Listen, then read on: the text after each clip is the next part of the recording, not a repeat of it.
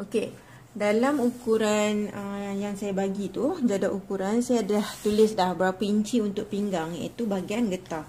Okey, kita ikut je macam saya guna saiz 7. Jadi pinggang yang uh, getah yang saya gunakan adalah 20 setengah. So ukur 20 setengah. Okey, 20 setengah inci, kemudian potong. Okey. Lepas tu kita akan jahit, jahitan tu kita akan jahit uh, kita buat macam gelang. Okey. Ni selisihkan lebih kurang okey 1 inci. 1 inci. Okey, make sure dia tak terbelit eh. Okey, kita jahit ke bawah. Naikkan tapak. Okey, kita buat sirung, naikkan tapak, kita naik atas. Okey, naik naikkan tapak. Kita sirung balik. So dia jadi bentuk X. Lepas tu kita matikan. Ha, nak matikan banyak kali pun boleh. Okey. So, siap dah gelang getah. Okey, sebelum kita jahit getah ni dekat pinggang seluar kita, okey, sediakan kita boleh guna macam ni saya guna tali untuk buat tali barut budak tu. Okey. Ni lebih kurang uh, 8 inci. Ataupun anda boleh guna rebin. Ataupun satu lagi anda boleh guna anda punya label. Okey. Label uh, label baju produk anda. Lipat dua macam ni. Kalau ada label, tak adalah panjang macam ni kan. Guna je lah label tu. Okey, lipat dua macam ni. Okey. Tak ada tepi dulu. Okey, sekarang ni ambil seluar. Kemudian terbalikkan. Maknanya bahagian cantik berada di luar. Okey, so saya terbalikkan.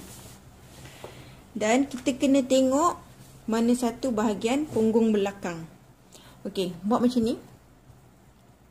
Buat macam ni, samakan bahagian pinggang dia ni. Okey, samakan tengah cawat ni dengan pinggang. Lepas tu, tengok dekat bawah ni. Okey, tengok kat bawah ni mana satu yang terlebih. Okey, macam ni yang terlebih bahagian belakang. Nampak? So, saya buat macam ni. Sekejap eh. Ha, macam tu senang. Okey, atas tu saya dah samakan. Jadi, saya tengok mana yang terlebih. Terlebih adalah bahagian belakang. Jadi, mana yang terlebih ni, bahagian belakang ni dia adalah sebelah belakang lah. Okey. So, bila sebelah belakang, kita akan start jahit dari belakang. Okey, ni tadi depan. Ini pinggang belakang. Okey. Ambil kita punya getah. Okey, saya masukkan dulu sikit kat sini. Senang. Okey. Letak getah. Lepas tu tutup dia. Okey, tutup macam ni. Okey. Lepas tu ambil label ataupun tali anda tadi tu, rebin ke selit dekat dalam ni. Ha, selit je lah macam tu. Jadi kita tahu mana satu bahagian belakang. So bila anak-anak nak pakai, anak-anak tengok label ni, tanda ni, anak-anak dah tahu dah. Oh ini belakang, so dia pakai terus belakang. Okay. So ini kita akan jahit. Okay. Untuk jahit getah, okay, kalau yang guna mesin uh, industri, okay, kalau yang guna mesin industri, anda boleh gunakan tapak zip. Okey. Okey, tapak zip macam ni. Bak, dia sebelah aje. Hmm, okey. Bila guna tapak zip, dia lagi kemas sebenarnya. Okey, kalau mesin portable, anda boleh je guna tapak biasa. Okey.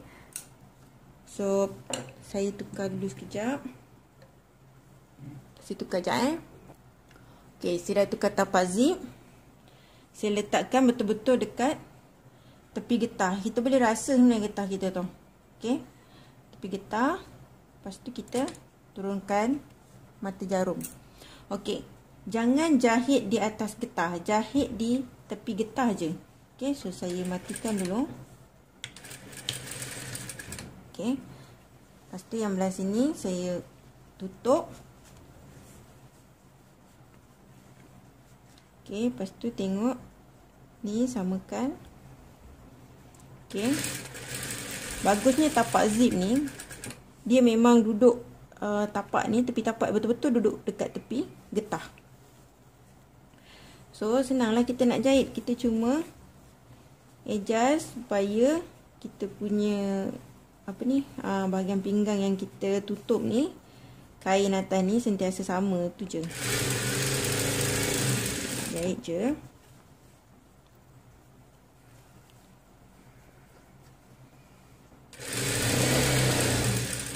Okey, ni dah susah kan nak jahit kan? Jadi kita tarik yang belah atas ni. Ha, yang dah siap jahit ni kita tarik. Okey, tarik. Okey, getah tarik ke kanan, kain yang sarung getah ni tarik ke kiri. Ha, macam Saya jarang tarik dekat bahagian ni, dekat bahagian tapak ni sebab nanti dia akan lari. Dia punya ni dia akan bergumpal ataupun dia lari. Okey, dia punya jahitan dia tu. Okey, so ni tutup dan jahit.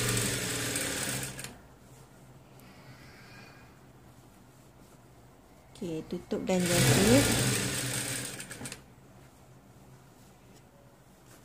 Okey, ni tolak.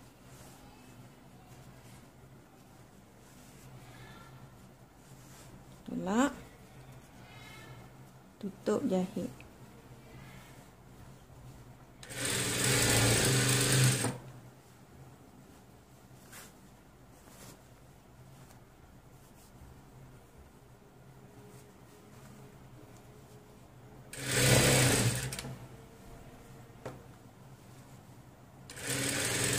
Okey, yang dah nak last ni kita boleh lah tarik je.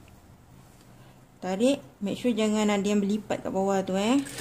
Kita jahit dan matikan.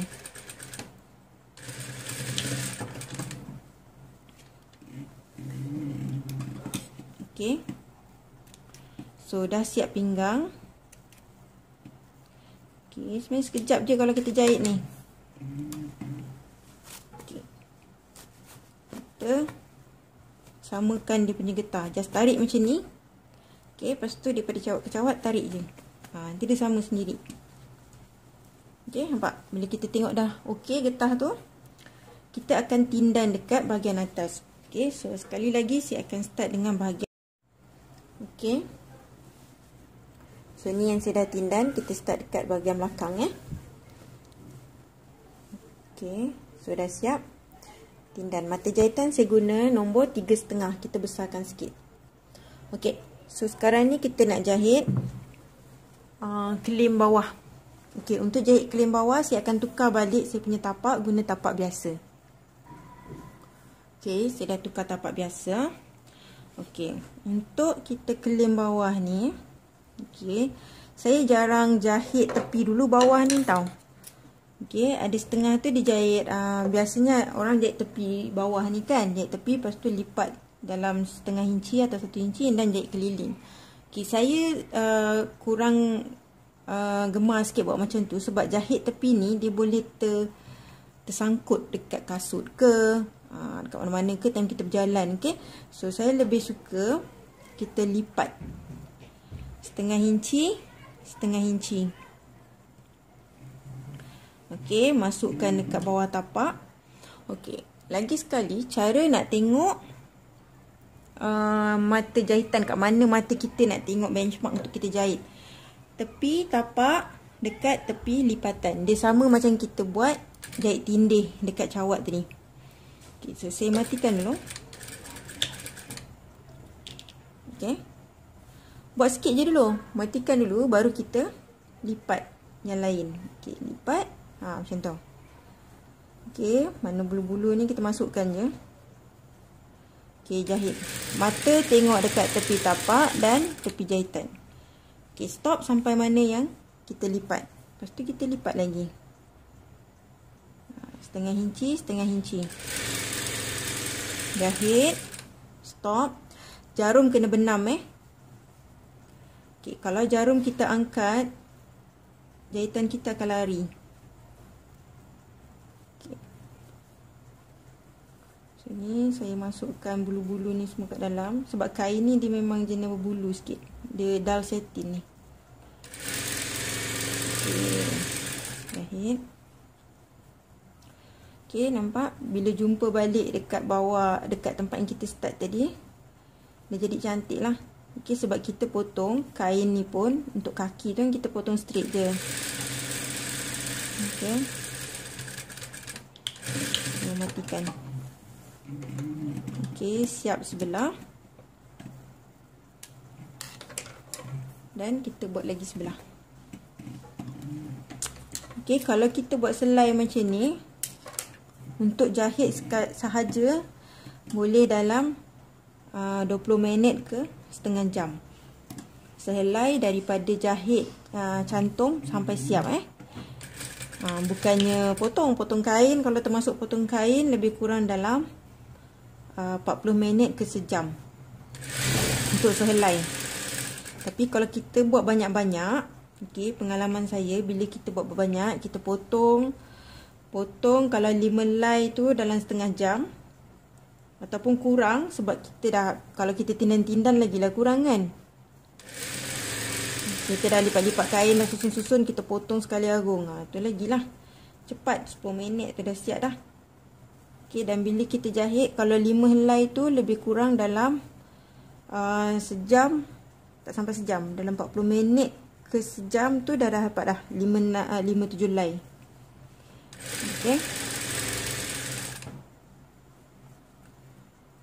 So ni dah siap sikit lagi.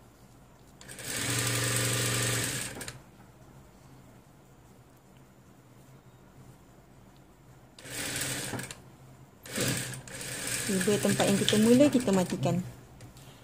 Okey dah siap.